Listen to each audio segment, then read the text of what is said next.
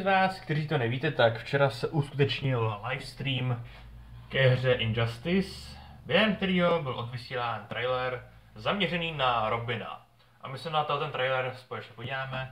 Musím se přiznat, že jsem bohužel nestil ten livestream, takže nevím, co v tom traileru kon- konkrétně bylo, ale mám takový dojem, že tam uvidíme nějaký special moves od Robina. Takže nebudeme to protahovat a mrkneme na to.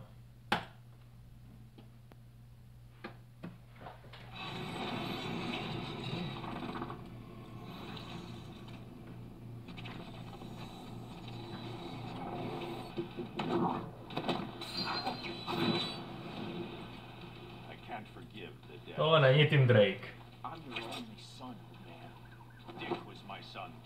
Tohle je Damien. Už jenom ten meč tomu nasvědčoval.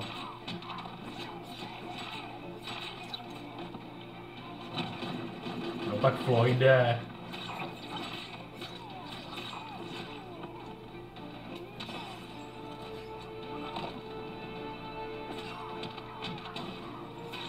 To je Dodge vzadu? Nebo co je to za, za auto?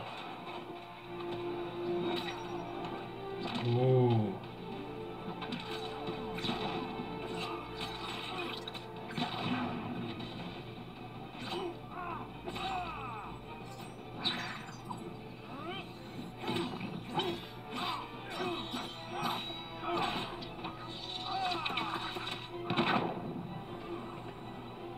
Wow.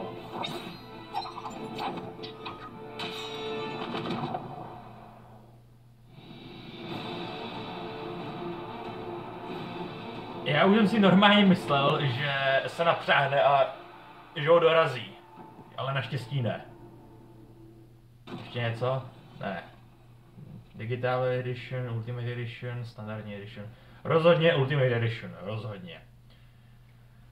Takže nakonec se vrací Damien, který byl v předchozím dílu za Nightwinga. Jak vidět, tak oblek Nightwinga dal stranou a vrátil se zpátky k obleku Robinovi. No jo.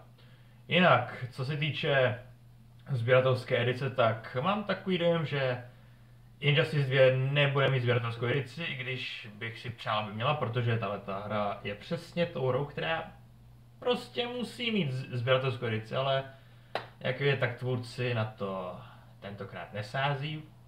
Se musíme sp- spokojit s tou digitální verzí, s tou Ultimate Edition a s tou standardní. Jenom by mě zajímalo, kdo si ko- koupí tu standardní edici. No možná někdo, kdo nebude mít na tu Ultimate, což je pochopitelné, ale spíš bych čekal, že spousta lidí si koupí tu Ultimate edi- edici, protože tam toho bude dost.